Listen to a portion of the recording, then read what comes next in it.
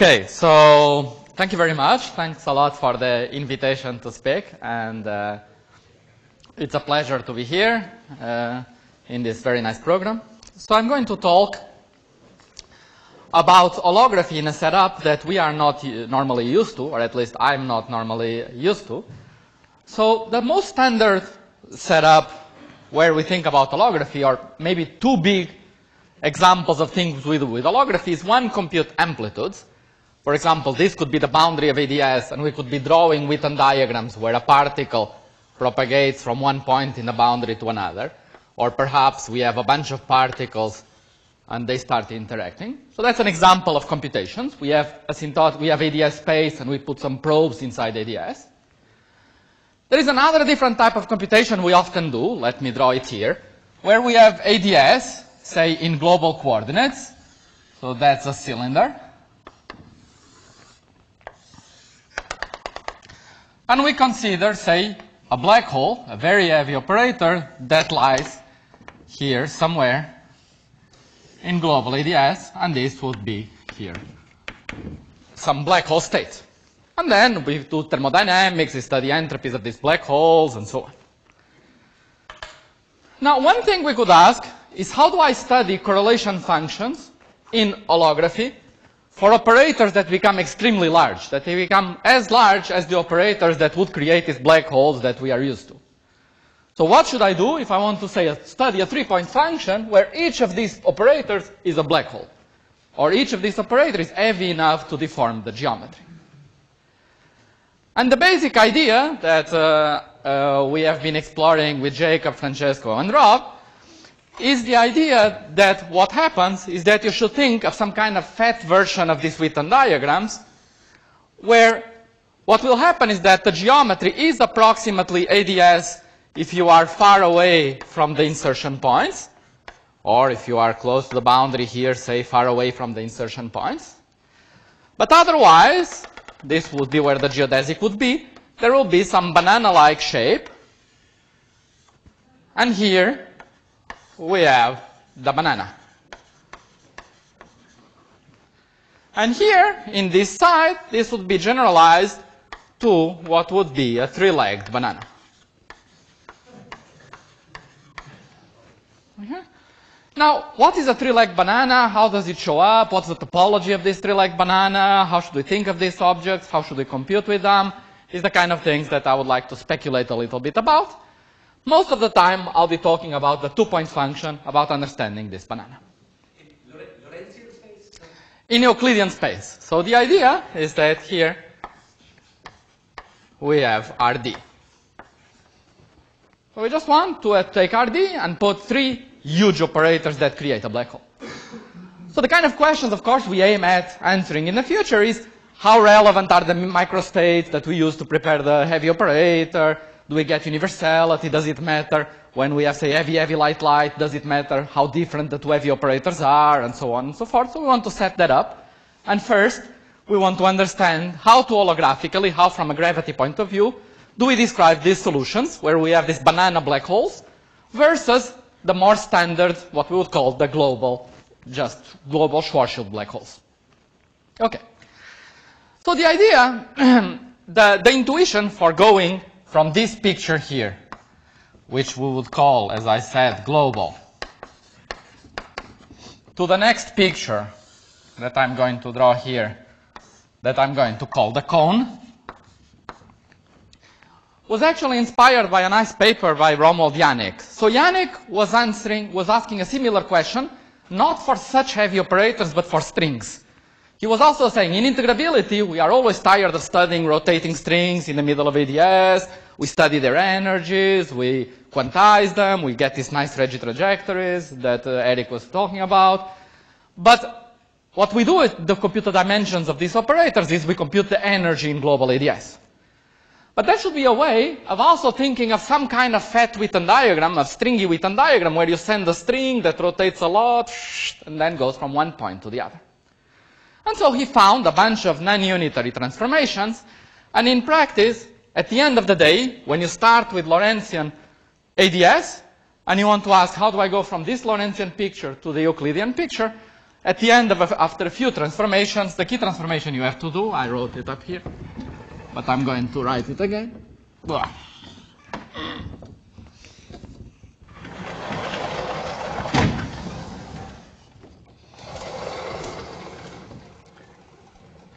So we start with Schwarzschild up here on the up uh, corner. So we have the usual Schwarzschild in the dimensions in global ADS.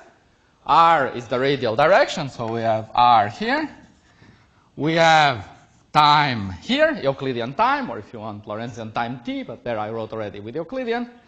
And then we have a sphere here, a rotation here.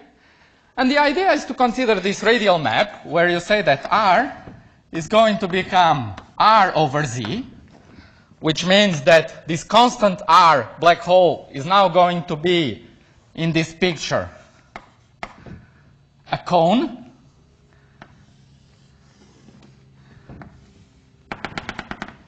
And if I consider going away from this cone, drawing this line, I would go all the way like this. And then the, this is how this radial coordinate works. And then time here, e to the tau, is related to the distance from the tip of the cone, r squared plus z squared, so that traveling along the black hole here is traveling along this cone. okay? And so this is how we would start with a metric in global ADS. We could start in Lorentzian. First step, you Wick rotate t to i tau, now you are in Euclidean. And after you rotate, you do this change of variable in this first yellow box, and you go to this cone metric, which would be some metric where now we foliate things not with concentric cylinders, but with concentric, with uh, this opening more and more wide cones. And now, of course, what we could do is take this metric, where the operators would be inserted, one at zero, one at infinity, and just apply an ADS isometry, which now, because the metric is not just ADS, it is a honest change of variable, and now we would go to the metric of the banana, where the cone is mapped to a banana. And now we would have a point inserted at, say, 0, and one point inserted at x. Sorry, the boundary, Yes. once you've got the Euclidean space, is S3 times S1. Yeah, we are in the dimensions, but uh, yeah. Okay, S3 minus 1 times S1. Yes. Um, but didn't you want to find correlation functions just on RD? That's right. So here we are in RD. So this boundary here is RD. So by doing this change of variables, we went from that frame to this frame where the boundary now is RD. But I, I don't understand how you can change the topology of the boundary by a coordinate system, by a coordinate. Ah, okay, so you are worried about the S1. So let me emphasize that point, that normally what we do when we consider the Euclidean black hole is that we make this circle periodic, and we consider finite temperature, and the temperature is dictated by not having a singularity at the horizon, and that's what we normally do. Now here, I am not doing this identification. You've got a singular. That's right. So now, let's suppose we want to ask if this is the end result. So we would ask, let's compute the action, the gravitational action for the banana. And see what do we get. Right, so we take the banana, let's evaluate this action. Now, what should we do? We are doing holography, so what we should do is we should cut off this geometry, some epsilon away here. So we put some regulator here, and we say I'm going to consider the geometry up to some surface epsilon, at z equal epsilon, the usual thing. and then, uh, what, do, what should we do? So we, if we translate back to what it means here, it would mean that we would consider going from this point all the way to this point here would correspond to traveling a certain amount from here to here. And this height that we would integrate would be delta tau, and this delta tau would be related to the separation of the banana by something like this. I would separate. The separation of the points would dictate by how much you should evolve in the black hole. And then, what is the usual way of computing these actions that when we study thermodynamics, we compute the bulk action and we have a boundary, which is ADS. So we also put at the boundary, let me draw this yellow line, we also put here some Gibbons-Hawking term for the boundary. So we evaluate the bulk and we compute this Gibbons-Hawking term. What would it translate here in the banana? I'm computing the bulk action and I should put a Gibbons-Hawking term here in the bound in, in ADS. Now, if we do this computation, we all did this computation of thermodynamics, when we compute the gravity action with this Gibbons-Hawking term and we compute it, as Shiraz said, normally we identify this with some temperature beta. So what is the answer? The answer is just exponential of minus beta, but beta here is delta tau. So this delta tau is usually beta, because the action is invariant, it's translation invariant. So whatever interval I compute is just multiplied by that interval, multiplied by the free energy, which is the energy of the black hole, minus the inverse temperature times uh, the entropy. Sorry. Right? And so, this is what we would normally get, and this would become, under that identification, up to some normalization, 1 over x to the power twice the energy minus t times the entropy. Sorry. we want to compute exponential of minus the action, and that would give me this. Right? And so we would see that the correlation function would become 1 over x squared to the power of the energy minus the entropy. And this is wrong. This is not what we want. So this is not what we want, which is 1 over x to the power of the energy of just the mass of the object I put there. And so how should we correctly do this computation? It's related to what Shiraz said, that this space, as we don't identify this space is singular there. So actually, if you look at the banana, you see that you have this banana that touches the boundary, touches this surface E at epsilon. So the boundary of your space that you thought first was just epsilon, now it's pierced by this banana, so you better consider the surface of the banana as also part of your boundary. And so the idea is that actually the boundary of the space is this, eps, this surface at z equal epsilon, not the boundary, plus the peel of the banana, right? So you have to cover the banana, right? and you have to consider the boundary to be this, and you have to add an you have to put something a little bit unusual. You should put some Gibbons-Hawking term here.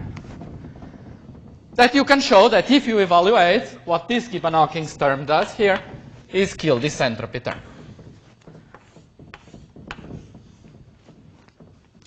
And so the, the, the, the proposal, in other words, is that if you were to translate back to this computation, even here you could ask, how do I compute exponential, how do I compute the evolution, Euclidean evolution of black hole, exponential of Hamiltonian times tau, and then black hole. For any tau, right? I can always, for any tau, decide I want to compute for some reason, exponential of minus tau times Hamiltonian, acting on black hole, absorbing black hole. And I should get e to the minus energy times tau, without entropy, without anything. So I want to change ensemble. I want to go from fixing temperature and uh, having all this entropy to just saying I fix the state and I have one state and I want to just reproduce e to the minus energy times tau. And the claim is that this boundary term precisely does that. And if you, and uh, similarly, if we were to study black holes with charge, we would also put a boundary term to fix the charge versus the chemical potential and so on.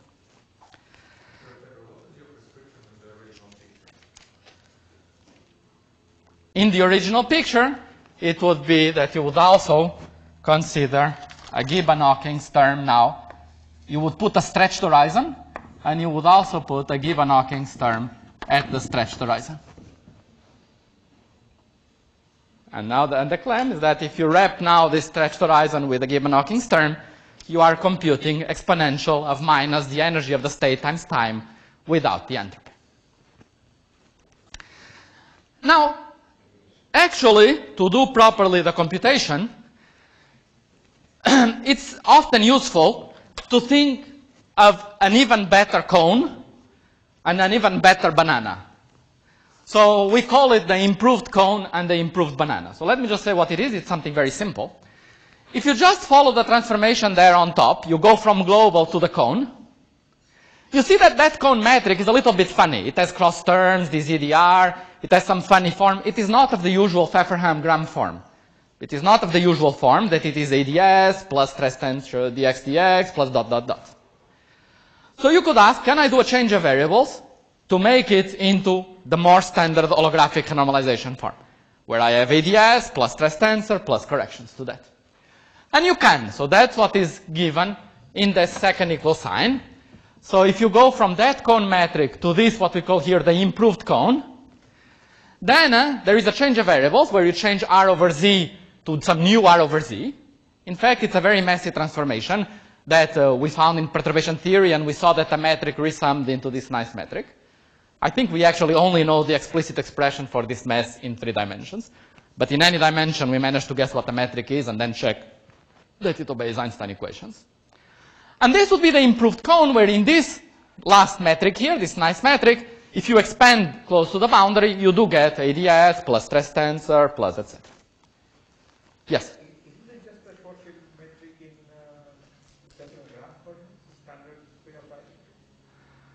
I thought that there is a parameterization of the Schwarzschild metric that adapts to special graph. Okay, maybe you could show me uh, later. Yeah. No, of course, now that we know this change of variable, we can find the map in some dimensions directly from Schwarzschild to this. We don't know this map, I think, in general, in the not equal to 3, but uh, with data with Z, right? Not uh, in not concatenating. with this cone foliation, I'm not sure it exists. But uh, I'm happy to, to, to have a look later. If you show me, if you show us, that would be great. Now, let me make a few comments about this cone metric and this improved cone. So first of all, strictly speaking, what I said before about doing the usual normalization with epsilon, I should do it in the improved cone. It's in the improved cone that I have Fefferman-Graham. So when I said put the cutoff at epsilon, it should strictly speaking put the cutoff at epsilon in this good metric. Okay, so I oversimplified a little bit. That's the first comment. But the second comment is that uh, right now, I mean, I call it really the improved cone in quotation marks, because this improved cone has a big drawback. It has a big advantage. Boundary conditions are manifest. It is Fefferman-Graham. It has a big drawback. It's not complete. So this metric doesn't go all the way to the horizon. So let's, let me describe what happens.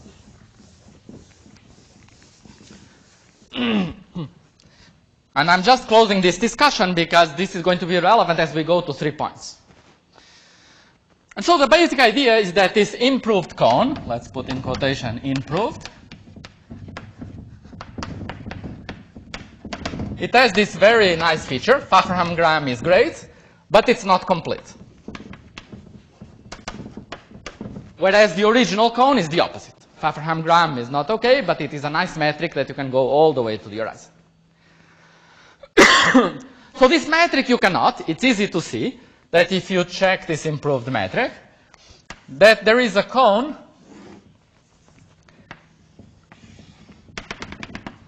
there is a cone here where the determinant of the metric equal to zero, and this happens at, if you trace back to global coordinates, at some r star that is bigger than the horizon. For example, I, we know by I know by heart that if you are in three dimensions, this r star is square root of m, and the horizon is square root of m minus 1. Okay? So r star is bigger than rh. And so you have this cone, and the matrix, this improved cone is a good metric here, but if you want to go inside this G, you have to complete this metric, and the honest horizon is somewhere here inside.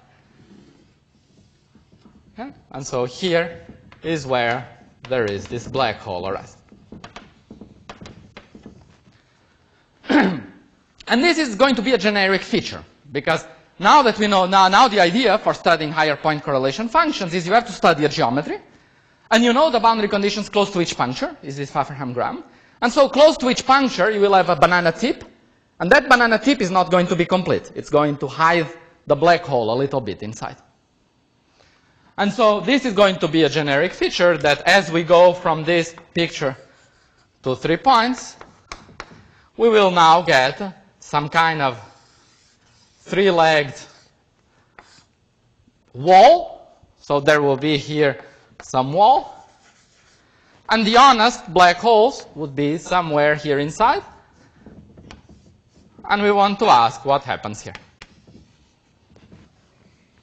And we have to understand how to complete this geometry and how to go inside. Any question here? Mhm. I'm having trouble to understand this banana still. Like, could you draw a picture for two-dimensional space-time?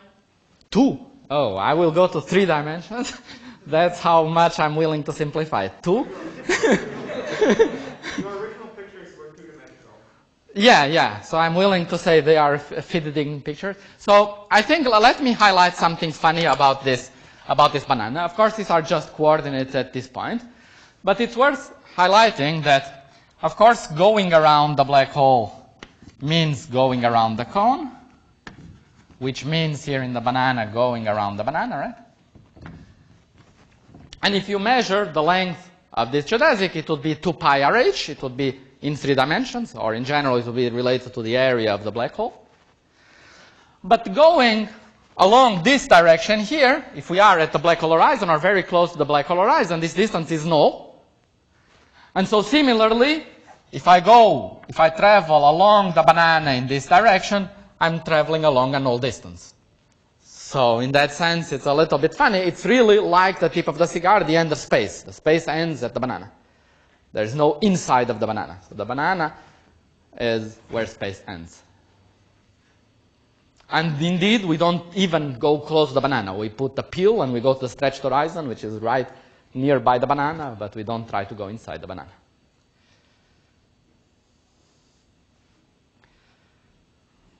Anyway, yeah. So now there are two things we could do at this point that I think would be fun to do. One, one thing we could do, now that we have this set up, is study things like heavy, heavy, light, light, etc. Now think I have the banana, this is the background, and I can put probes and do stuff like this. So that's one thing. I'm not going to discuss this. I mean, we did some nice things, and if you want, you can ask me the questions. And the other thing is to try to understand what happens when we have, say, three black holes, and that's more challenging. And three black holes, the thing to say is that it would be fantastic to develop some procedure to find these solutions, and I don't see a way to do it right now, which is not numerical. But I would be very happy to think how could we ever do this uh, uh, analytically, of course. Yeah? Ronnie? Lorentzian 3D that's prevented by topological censorship, so it doesn't exist. There are no three solutions of three huge black holes. Two black holes. Sorry? Even two black holes wouldn't exist in, in 3D. In 3D. Lorentzian. Lorentzian. Yeah, this is Euclidean. Here it's a, uh, I mean, should I, I, mean, I should be able to compute the dual of a two-point function of two heavy operators, right? It's, it must be some deformation of this Euclidean geometry. Right? Okay. okay, so, by the way, of course, this works for any solution. If you have a solution that you know how to put in global ADS, you just do this change of variables, and the claim is that if you, have, if you have this spherical symmetry and so on, it's always going to work. It's always going to give you just what you expect, which is the energy of the solution to the power of the distance. So it's not, for example, we tested it on other solutions that are not black holes, like LLM geometries and so on. It, it works as well. So, I think it should work for a star. But, uh, I, yeah, I asked uh, Eric, and Eric said you told him there are some nice papers about stars, these boson stars in ADS. I started looking uh, at it. So we did some examples. We have some examples of some solutions that are a little bit like stars. Yeah. The main difference is that uh, in some of these solutions, you can go all the way to the center of the geometry, and then you don't need any, you don't need this new stuff of the Gibbons-Hawking at the horizon. You have no horizon, and you just go all the way to the center. And then you automatically get the energy of the star times uh, the distance. Okay, so three black holes is hard, and so the idea is to consider three dimensions where we can make some progress because gravity is much simpler in three dimensions. And so the idea now is to move to three dimensions. And moving to three dimensions, the claim is that it's actually very easy, and I wrote it here. So let me flash what I wrote already. So again, we start with Schwarzschild, we went to the cone, we found this improved cone that is improved but not complete. And then you see that when d is equal to 2, this improved cone simplifies a lot. This term disappears. This term, when d is equal to 2, is just linear. And in fact, this metric, when d is equal to 2, is a famous metric. It's called the Bañados metric.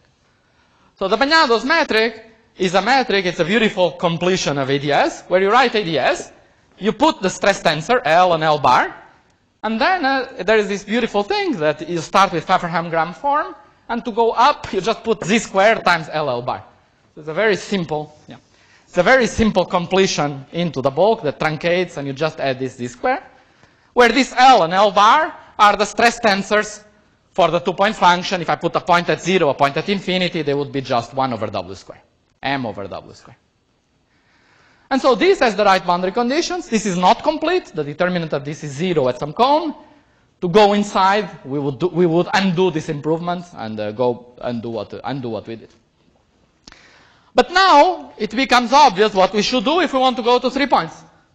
We should just take this same metric and replace L by the corresponding L of the three-point function. And now the L of the three-point function, it is just some function that instead of having two poles, now you have three poles at three locations. And then there would be this surface that hides the black hole, some 3D shape that hides the black hole, and the black holes will be somewhere inside. And now we want to complete this solution and look inside these horizons and see what the geometry looks like. now, we don't know how to do this in this sense of just finding the, the analog of the inverse of this transformation to go to some coordinates that still look like this. But in ADS3, there is another way of completing the solutions, which is by, by realizing that they are just identifications of empty ADS. And so that's another way of completing, noticing that this solution with this L and L bar is just empty ADS with identifications that are given by what's called the Roberts map that Roberts found that sends this Bañados metric into empty ADS. And the idea is that these capital variables, where you have empty ADS, close to the boundary, when z is equal to 0, they are given by z goes to the boundary, w is f of w, w bar is f bar of w bar, where this f and f bar obey some Schwarzian equation that relates them to L and L bar. So we know how to find this f and f bar. And then there is some complicated correction that you need to put if you want really the full map from uh, to empty ADS. And so let's discuss a little bit uh, this, uh, this map. And let's first do it for the two-point function.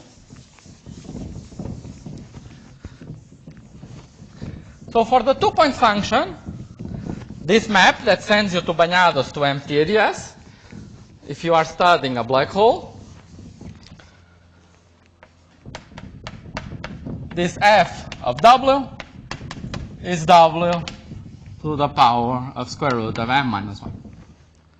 Okay, and f bar is the conjugate function. And so let me highlight something very simple but very important, which is that dilatations in w are now rotations in f of w, which close to the boundary is capital W.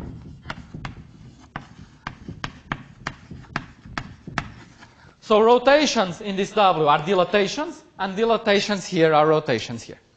Right? So it swaps what we call dilatations and rotations. And so if we start in the cone picture, so if I start in W, now this W, here I'm in two dimensions, so these coordinates here would be the W plane, this is the W plane. And if I make dilatations in this cone, I'm rotating in that W. And if I'm rotating in this cone, I'm making a dilatation in that W. And therefore, because rotations here are dilatations there, it means that in W space, the fundamental domain should be an annulus, where going around the geometry, this line A, would correspond to traveling from one point of the annulus to the other. but going from 0 to infinity, say from 0 to infinity, this line B, or the projection here into the boundary B, traveling from 0 to infinity, would now correspond to rotating. And so B would correspond to rotating. And you want to go from one point of the cone to the other, so you need to be able to rotate infinitely many times. And so that gives rise to the importance of the door. We need to put a door here. And now, as you rotate, you cross and you, you go as many times as you want. And this is what B is. And so there is this idea that we need here to put the door. So in 3D, if you think now not just at the boundary, you have two concentric domes. The black hole horizon is some line here.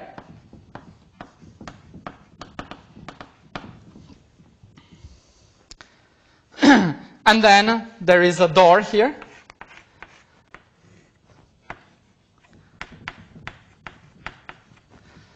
And in this picture, that 3D line B is some line that goes around here. So going around like this is traveling along the cone of the black hole, while doing some circle around the black hole, this A would be traveling from one point of the dome to the other. Okay? And so you need this picture where you have these domes and this door. And now we can immediately ask, so what happens now for three points? For three points, the map is more complicated. It's what's called the Schwarz triangle map. So I'll just tell you what the domes are and what the picture is at the end of the day. And so the claim is that for three points, here is the picture. For three points, so first of all, like here, when I put two domes concentric, it's a choice. There are many fundamental domains I can choose. I'm going to write one choice. There are um, more choices. So one choice, the fundamental domain looks like this.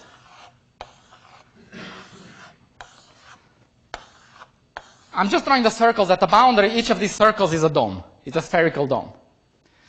And then uh, they are identified as here, that this dome is identified with this dome.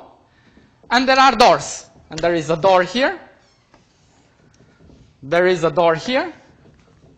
And there is a door here. And so the claim is that you have a room with three doors.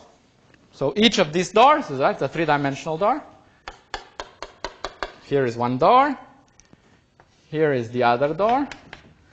And here is the other door. And so the picture, the claim is that this picture, if you apply the Schwarz triangle map, this is where you end up with. And now let's interpret what this picture is doing. Now, what happens with this picture is that you see that if you are at the boundary, what can you do? Or if you are in this geometry, what can you do? You can go through the door. But you can go through any of these three doors, and you can actually enter the door through one direction or through other direction. So there are six options. You are in this room, and you can enter each of the three doors through this one side or through the other. When you enter a door, suppose I enter this door, then uh, what you see after you enter the door, you enter this door. Now you are on the other side of the door. You are here. And you see nothing else. You enter in this room, and in this room, the other doors are not there. These other doors are not there. So you have a room with three doors, you enter a door, and now you are in a room that only has the door that you just came through. Right? And so that's the picture, the global picture. You have three doors. You can enter each of the doors through any of the directions, and when you enter, you see a room which only has that door. And the claim is that this is describing a wormhole.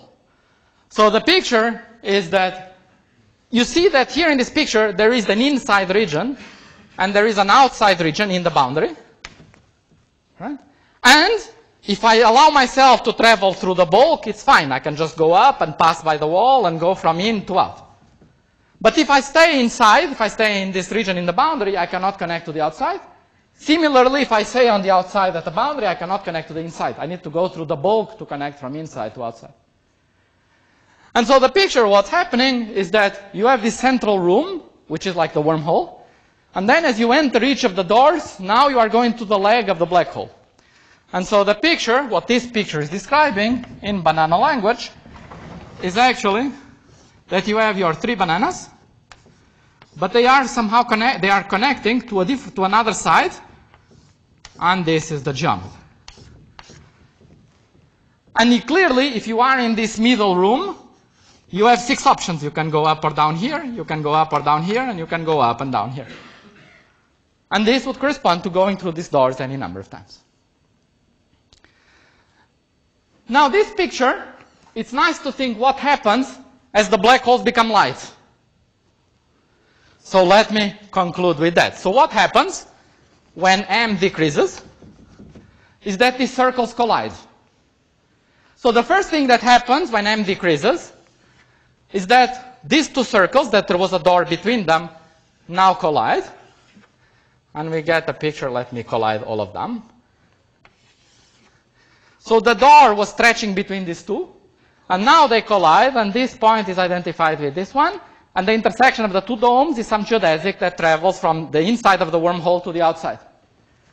These two guys, the door that was here now becomes again this defect-like object that travels from this side to this side, and similarly the door that is here now becomes this defect that travels from inside to outside. So again, there is a wormhole, but now what were the doors become defects that travel from inside to the outside. And this is the transition where the, the black holes become defects. And we have the wormhole, and this was the solution that Scott and Tom and friends studied recently, where they have the defects and the two-sided defects. And now we could shrink the mass further, and what would happen is that you would just get circles where the middle region disappears.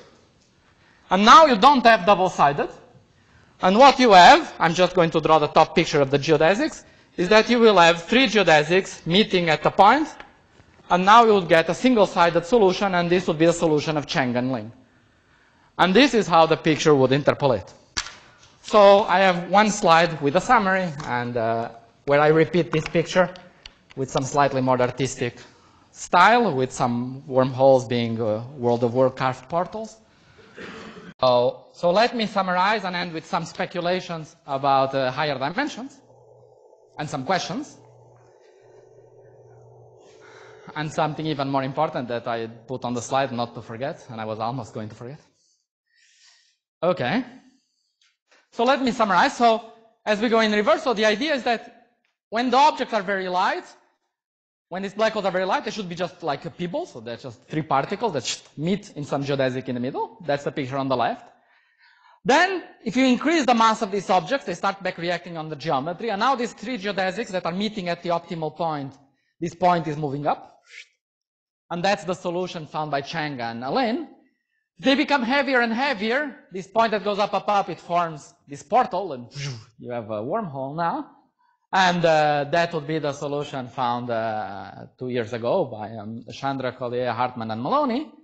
And then, uh, as we increase the mass further, these defects become black holes, and we get these three doors, this room with three doors, plus this infinite sequence of rooms with uh, one door that I described uh, uh, today. And of course, for any parameter range, this is expected to be given universality, universally by what the bootstrap predicts, which is the DOZZ formula. So an obvious comment is what happens in higher dimensions. And I don't have anything very smart to say, except that, of course, it would be fantastic to develop some numerical procedure where we could look for these solutions and answer this question, what do we expect? Do we expect to find a two-sided solution or a one-sided solution? Is it something like just the three geodesics, slightly fatter, the picture?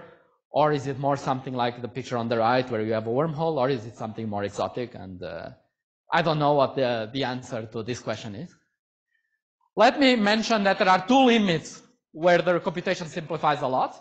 Very small black holes that are just geodesics, and very big black holes, very heavy black holes. If you do, if you study very heavy black holes, the computation simplifies a lot. For example, the three-point function becomes very simply given by log of 27 over 16 times the mass of the black holes. And it will be awesome to have a geometrical interpretation for what that simple number is. And I mean, is that 27 just three to the dimension? And what, what, what would happen in higher dimensions? Why do we get that big number uh, there? What would it be? Let me say that I think that actually we could have we could have different things, even perhaps more exotic geometry-wise, and this is a bit of a crazy speculation.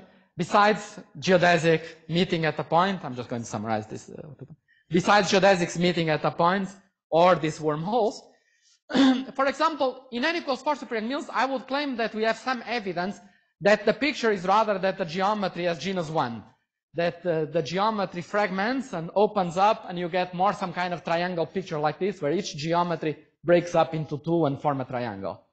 And that's based on a very simple computation. You can do combinatorics and there are some solutions that are protected. They don't depend on the coupling and you can use them to predict what a gravitational action should give. And if you do them for some, we did it some computation building on some tools that Shota developed, and we got that the action for some symmetric character representations that are dual to some LLM geometries has this structure where it's a sum of tube, what we call tube that depends on Jij, minus one half of tubes that depend on Ji. And this is very suggestive an interpretation like this, where you have contributions that depend on the effective charge contributing between each operator, and that I would say suggests very strongly that the geometry breaks into this triangle-like picture. And this would be an example of something even more exotic, I would say, than a wormhole or a banana with three legs, which would be a donut with three legs. and uh, of course, more generally, it would be very interesting to just develop tools for doing computations in uh, gauge theory. And uh, so there's a lot to do. And in particular, I have postdoc positions in Brazil. So if you know good students that uh, for some reason still did not get uh, a position, I have definitely one, maybe two, perhaps even three positions to, to fill in. So I would be happy to know and talk to me in the break. Thank you.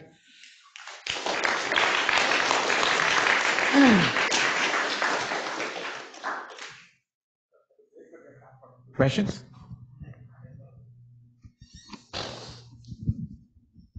So, uh, just a first a quick comment about what might be useful terminology. Mm-hmm. Um, if you decide you don't like talking about these internal boundaries for your banana in the Gibbons Hawking term, I think you can just as well say that you're doing the usual gravitational path integral, fixing the area of the black hole horizon. You can call these fixed area state calculations. You get exactly the same results. So it's a different perspective, a different terminology that might be useful. I see. And in that regard, I guess I'm tempted to ask, you know, your results of computing these three-point OPEs, or I guess really the mod squared of the three-point OPEs for the wormhole calculation, you know, it's natural in the black hole case if you only are specifying that you have a black hole, perhaps of some area, which is like specifying, as we heard from you know Tom Hartman, the um, uh, dimension of the primary or something that you can't calculate just C, you can only calculate these mod C squares. But do you think it's possible that if you added more information somehow specifying more structure, that there might be a one-sided solution in the black hole regime that involves the three conical singularities actually meeting and intersecting?